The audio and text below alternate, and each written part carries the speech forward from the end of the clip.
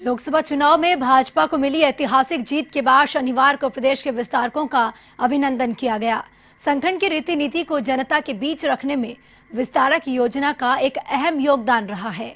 प्रदेश भाजपा के एक सौ पैंसठ विस्तारकों ने प्रदेश की सभी विधानसभा सीटों पर पार्टी का विस्तार करने का काम किया और साथ ही उन्हीं के बदौलत ही प्रदेश में कांग्रेस की सरकार होते हुए भाजपा को ऐतिहासिक जीत हासिल हुई।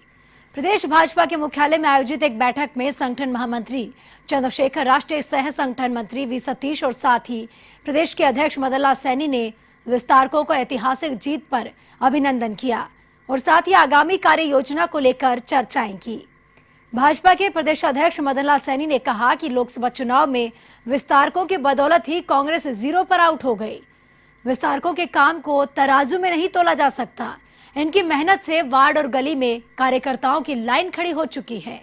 सैनी ने कहा कि 10 जून को दिल्ली में विस्तारकों की आगामी कार्य योजना पर चर्चा होगी और इसके बाद विस्तारकों को नई ज़िम्मेदारी सौंपी जाएगी।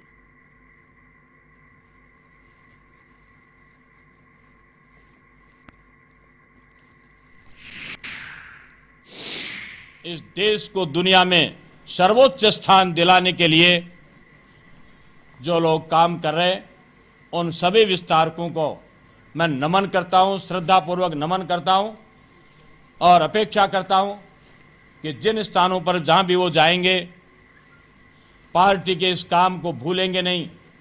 और जो हमने एक लक्ष्य तय किया जीवन में कि तेरा वैभव अमर रहे माँ, हम दिन चार रहे, न रहें, हम रहे या नहीं रहें, लेकिन भारत माता का वैभव बढ़ना चाहिए, इस बात को ध्यान में रखते हुए जहाँ वो जाएँ वहाँ उनके काम के लिए मेरी बहुत बहुत शुभकामनाएँ।